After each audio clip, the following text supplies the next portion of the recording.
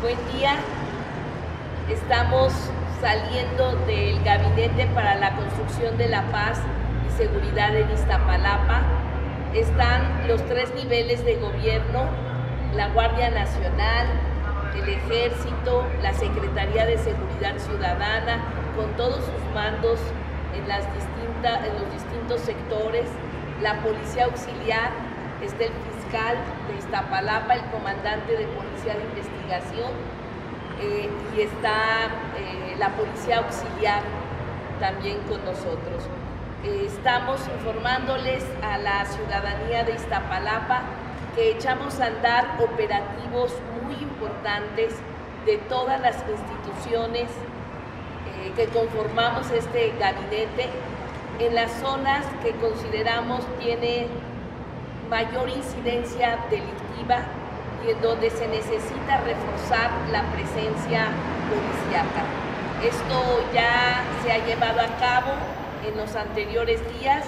Hemos hecho estos operativos en desarrollo urbano Quetzalcóatl, en el Triángulo, en la Polvorilla.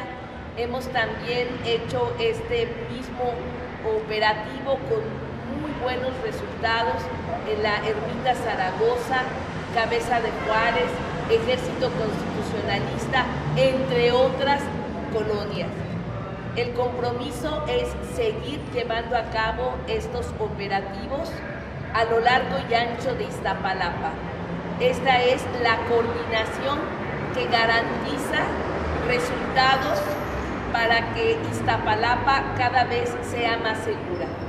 Recordamos que en 2018, cuando entramos, se cometían al mes 1087 delitos de alto impacto, como son homicidios, lesiones dolosas, robo con violencia y en el último mes de julio tuvimos 437 delitos de alto impacto.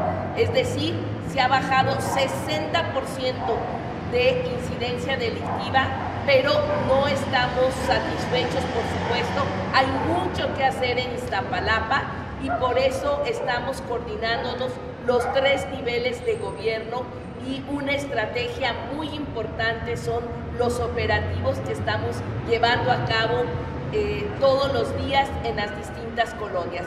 Vamos a continuar y vamos a dar muchos resultados como los hemos obtenido en los últimos operativos. Muchísimas gracias.